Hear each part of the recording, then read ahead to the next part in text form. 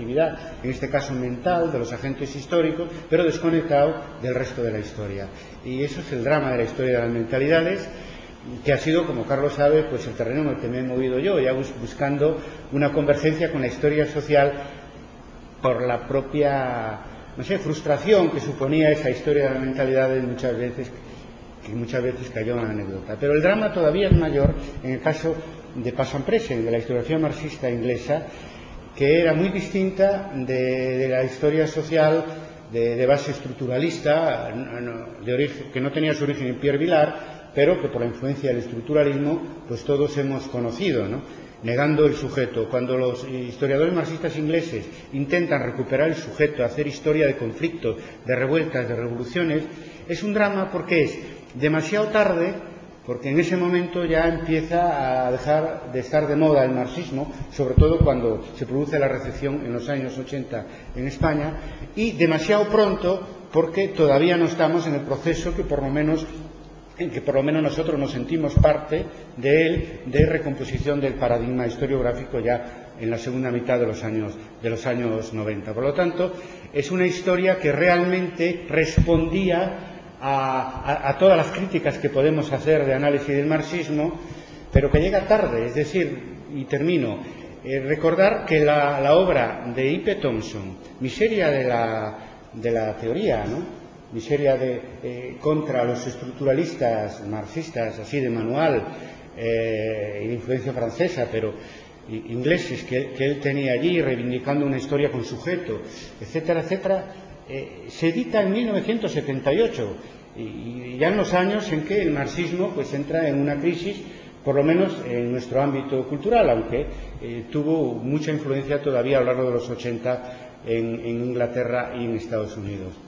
Ese es el drama de los intentos renovadores más tardíos de la Escuela de Análisis del Materialismo Histórico. Llega un momento ya en que la historia se fragmenta y que estamos casi en la antesala de los retornos de, la, vieja historia, como anunció Couteau en aquella crítica anales. Decía, no, ustedes ahora entran en crisis y volverán pues, la, historia tradicional.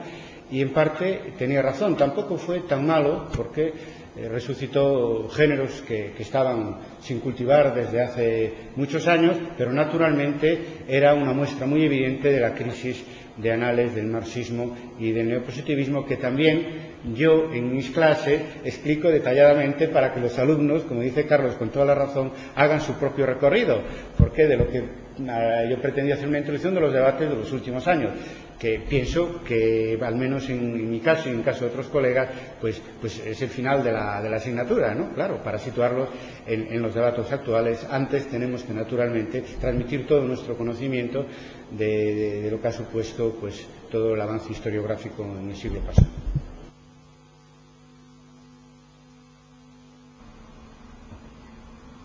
Parece que hay una intervención que, va a venir algo más tarde de un centro no conectado directamente, pero sí conectado telefónicamente. Por lo tanto, mientras tanto, ¿hay alguna otra intervención?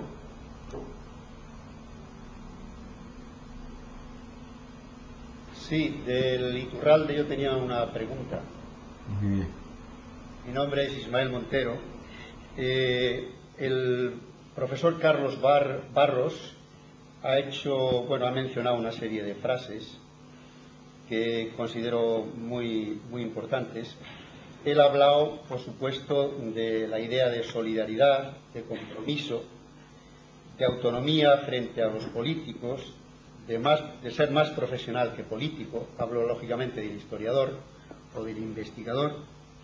Mi pregunta concreta es, ¿qué papel debe jugar en los actualmente el, historiador, digamos, en el debate político?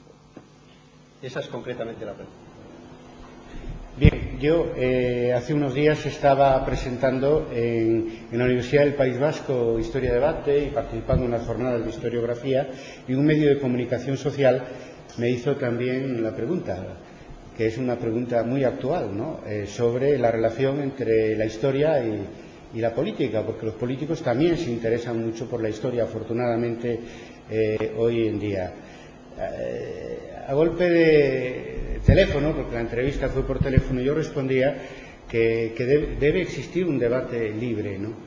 y que, el historiador, desde su conocimiento del pasado, debe contribuir, digamos, a que los debates políticos actuales, algunos muy cargados de historia, tengan el desenlace más feliz.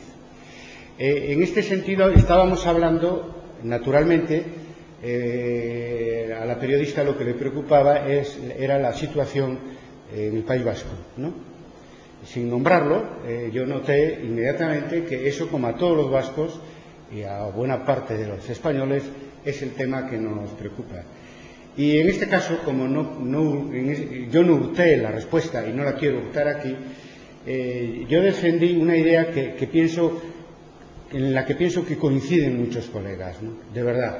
Porque en Historia de Debate nos caracterizamos no por tener ocurrencias que, puedan ser seguidas por otros, sino por captar aquello que está en el ambiente y que en el sector más dinámico en nuestra disciplina pues encuentre un eco, que esté ahí, solamente eh, ponerle nombre y decirlo.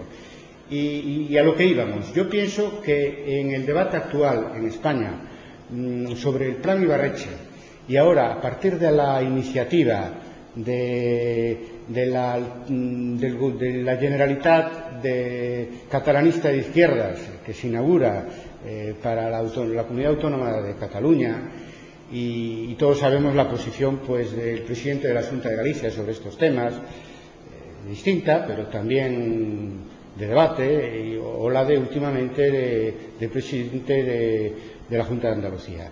Entonces, ¿qué podemos hacer el historiador para que el desenlace de estas tensiones en el interior del Estado las autonomías sea más feliz?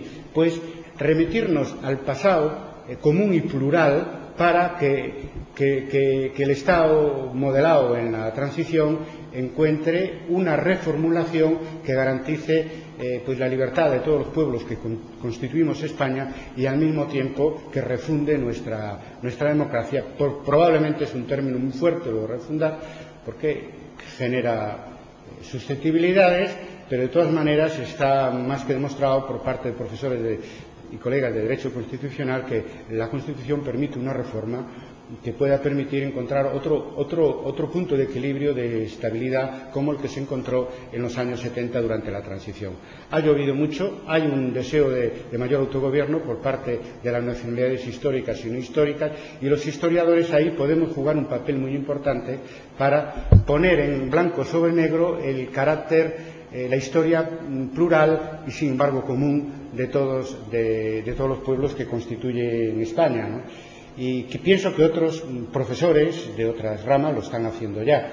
Y nosotros de alguna manera lo estamos haciendo más, ya, porque ahí hay un compromiso plural, hay historiadores que, comprometidos con eh, en su trabajo con sus comunidades autónomas, con, con revelar la identidad histórica de sus diferentes comunidades autónomas y otros eh, lo mismo eh, referido a la identidad histórica de España. Ambas cosas a mí me parecen muy necesarias y quizás a lo mejor entre historiadores pues nos ponemos nos podemos más fácilmente ponernos de acuerdo que entre los propios políticos sobre todo en una situación tan encrespada como, como, la que estamos, como la que estamos viviendo ahora. España siempre fue plural y común, su historia, como bien sabemos.